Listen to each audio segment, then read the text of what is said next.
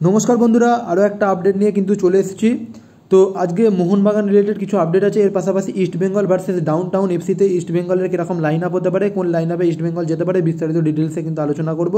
তো ভিডিওটা শুরু করার আগে বলে রাখি, যারা চ্যানেলে প্রথমবার এসেছে, অবশ্যই চ্যানেলটা সাবস্ক্রাইব করে নেবে, ভিডিওটা ভালো লাগলে লাইক দেবে। আর তো চলুন শুরু করা যায় তো প্রথমে শুরু করব মোহনবাগান রিলেটেড আপডেট দিয়ে। তো মোহনবাগানের অগ্রদূত পায়োনারিং বিভাগ, অর্থাৎ বাচ্চা ছেলেরা কিন্তু পাঁচ শূন্য গোলে ইন্ডিয়ান রেলওয়েকে হারিয়েছে। তো পরপর দুটি ম্যাচে কিন্তু পাঁচটি করে গোল কিন্তু মোহনবাগান করেছে, যার জেরে কিন্তু মোহনবাগান ইয়ং যে টিম আছে তাদের মধ্যে একটা খুশির ফোয়ারা ফিরেছে। কারণ বারবার ড্র করার ফলে টিমের মনোবল কিছুটা ভেঙে গিয়েছিল। তো সেটা কিন্তু ফিরে পেয়েছে মোহনবাগান বাহিনী। তো যেখানে ফারদিন আলী এবং রাজবাস্পর একটি করে গোল করেছেন এবং সালাউদ্দিন, তিনি কিন্তু হ্যাট্রিক করেছেন। অর্থাৎ দুটো ম্যাচে কিন্তু দুরকম হ্যাট্রিক মোহনবাগান পেয়ে গেল। এবার চলে আসব আলবের্তো রড্রিগেজ। তো আলবের্তো রড্রিগেজ নিয়ে একটা আপডেট দিয়ে দেবো। তো আলবের্তো রড্রিগেজ প্রথম দিনই যেখানে অনুশীলনে নেমেছিলেন, সেখানে কিন্তু তিনি নজর কেড়েছেন এবং তিনি টিমকে উদ্বুদ্ধ করার চেষ্টাও তিনি করছেন, সেটাও কিন্তু আপডেট পাওয়া যাচ্ছে। অর্থাৎ প্রথম দিনই কিন্তু নেবে ডিফেন্সে দর্শন কেড়েছে এবং অ্যাটাকিং মানে তিনি যে তার যে একটা বড় চেহারা যেটা বলা হচ্ছে, তো তিনি বল অ্যাগ্রেসিভ মুভমেন্ট কিন্তু নিয়েছেন প্র্যাকটিস সেশনে তো তেমনটাই আপডেট পাওয়া যাচ্ছে। দ্বিতীয় যে আপডেটটা দেবো, সেটা হচ্ছে গ্রেক স্টুয়ার্টকে নিয়ে। তো গ্রেক স্টুয়ার্টও প্র্যাকটিস সেশনে বড়সড় নজর কেড়েছেন বলে খবর। মলিনার ইতিমধ্যেই নাকি তিনি একটা নয়নের মনি হয়ে উঠেছেন, তো তেমনটাই কিন্তু আপডেট পাওয়া যাচ্ছে।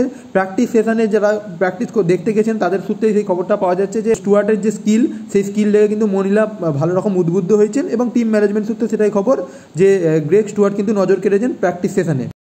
তো এবার চলে আসব ইস্ট বেঙ্গলের কিন্তু আপডেট নিয়ে। তো কী লাইন আপ হতে পারে ইস্ট বেঙ্গলে সেটা নিয়ে কিন্তু আলোচনা করব। তো দেখুন, আগের দিনের যেরকম লাইন আপ হয়েছে, তার মধ্যে খুব একটা চেঞ্জ কিন্তু আসবে না। তবে যেটুকু মনে হচ্ছে কার্লোস কোয়াদ্রাত এইভাবে কিছুটা লাইন আপ কিন্তু করতে পারে। তো তোমাদের বলে রাখব, সাত তারিখ কিন্তু ম্যাচ আছে, অর্থাৎ আগামীকাল। তো আগামীকাল কিন্তু ম্যাচটা তোমরা দেখতে পাবে সোনি লিভে তো সোনি লিভ অ্যাপে কিন্তু ডুরান কাপের ম্যাচ কিন্তু লাইভ দেখাচ্ছে। তার জন্য তোমাদের সাবস্ক্রিপশান লাগবে।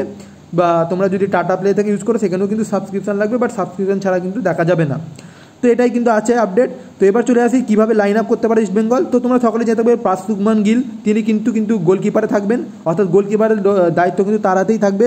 এরপর কিছুটা এইভাবে কিন্তু লাইন আপ সাজাতে পারেন ফোর টু থ্রি ওয়ান তো আমার যেটা প্রেডিকশন সেইভাবে লাইন সাজাতে পারে। বাকি তার মধ্যে ইন্টার ডিপার্টমেন্টাল চেঞ্জ কিন্তু আসতে পারে।